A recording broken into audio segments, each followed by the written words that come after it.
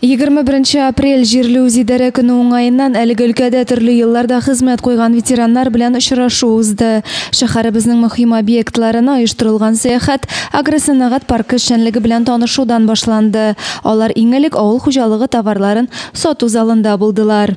1070 квадратов, это само парк. 10% только торговый зал. Кунаклар паркның ит һәм яшелчә эшкәртү цехларын карап, ярмаларны фасовкалау өлешенә дә уздылар.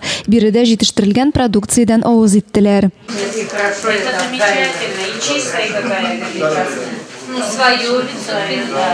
Өлкәннәр өчен оештырылган экскурсия Зәй элеваторында дәвам итте. Алар Идел буе округында да тиңе булмаган бер юлы 150 мең тонна ашлык саклауга исәпләнгән объект эшчәнлеге белән кызыксындылар. Җирле үзидарә ветераннары белән очрашу Субухрафиков исемендәге китапханәдә дәвам итте.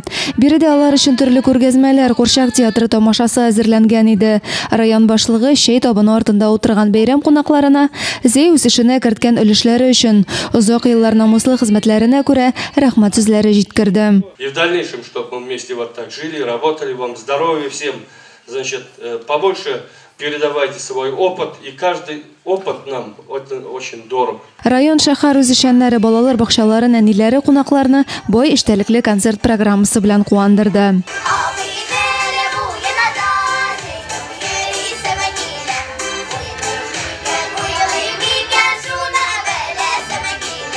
Адилә Брханова, Александр Тимофеев, Юлия Казамарова, Татарстан хәбәрләре.